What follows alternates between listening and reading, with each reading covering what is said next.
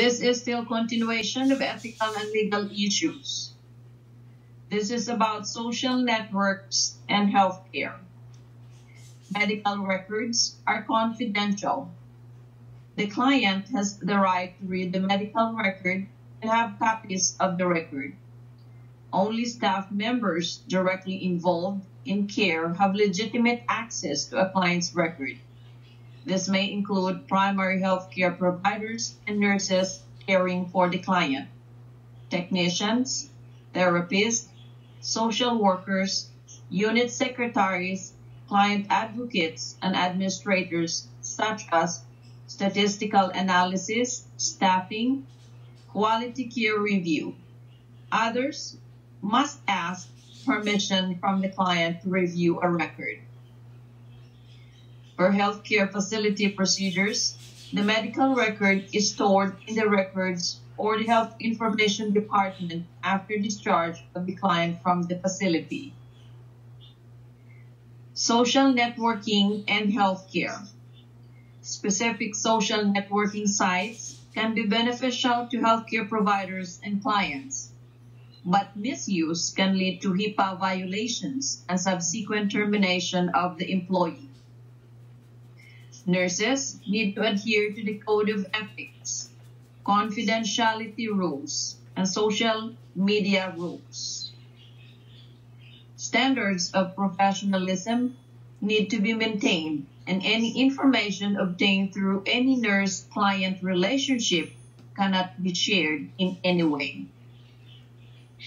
The nurse is responsible for reporting any identified breach of privacy or confidentiality.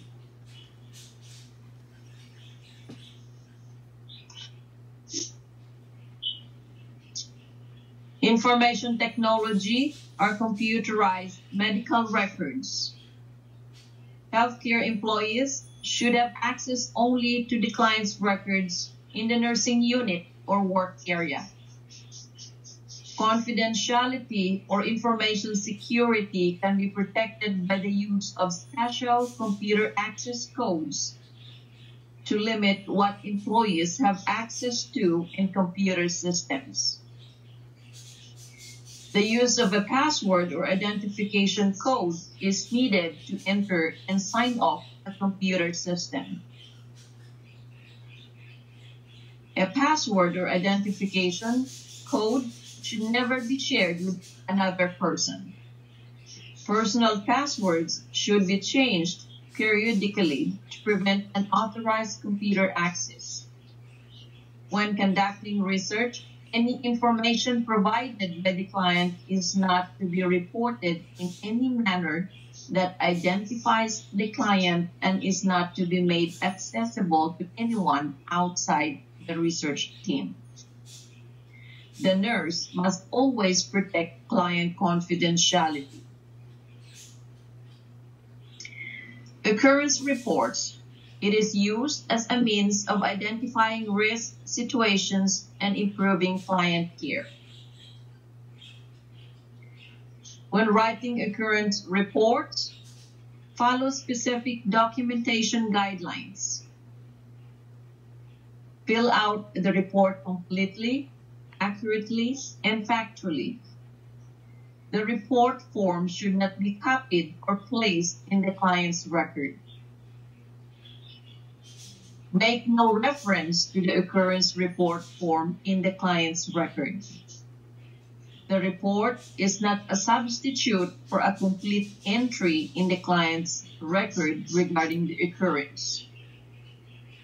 This means on top of the client's report or occurrence reports, the nurse still needs to write a nursing notes in the client's record. If a client injury or error in care occurred, assess the client frequently. The primary healthcare provider must be notified of the incident and the client's condition.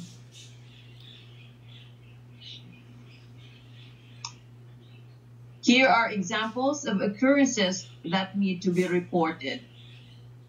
Accidental omission of prescribed therapies, circumstances that led to injury or a risk for client injury, client falls, medication administration errors, needle stick injuries, procedure related or equipment related accidents, a visitor injury that occurred on healthcare agency premises, a visitor who exhibits symptoms of a communicable disease.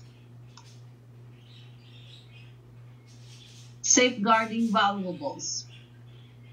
Valuables should be given to a family member or secured for safekeeping in a stored and locked designated location such as the agency's safe. Facility security may handle the safeguarding of valuables. The location of the client's valuables should be documented per agency policy. Many healthcare agencies require a client to sign a release to free the agency of their responsibility for lost valuables. A client's wedding band can be taped in place unless a risk exists for swelling of the hands or fingers. Religious items such as medals may be pinned to the client's gown if allowed by agency policy.